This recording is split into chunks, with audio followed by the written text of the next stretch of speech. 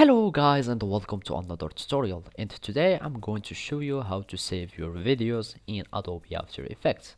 So after you starting your project on Adobe After Effects and you started the composition, you added animation, you edited your video and you give it some uh, some animation so now your video uh, is being totally in the good uh, having animations and now you came to the step where you want to save your video so basically you will need to render it first how to render your videos on Adobe After Effects First, you will need to go to the file menu here and go to export. And to export, you will go to add to render queue.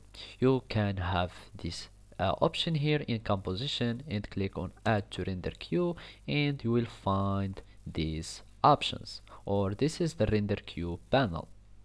So basically you will click on this lossless and you can choose your format of rendering or your formats video. In some formats have other formats option and which is the video codec. So you can uh, search for any wanted format you may want it uh, the AVI uh, MP4 or MOV so you can go just for like an Apple one and it will be uh, or animation.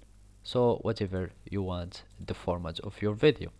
After that you will need to start or uh, to go for uh, a location where you want to store your video and when you finish basically you will only just click on the render and you will wait the Adobe After Effects until it ends the rendering and you will find your video saved in uh, your location that you have just selected. So basically this is how you can uh, save your videos in Adobe After Effects. Thank you for watching and goodbye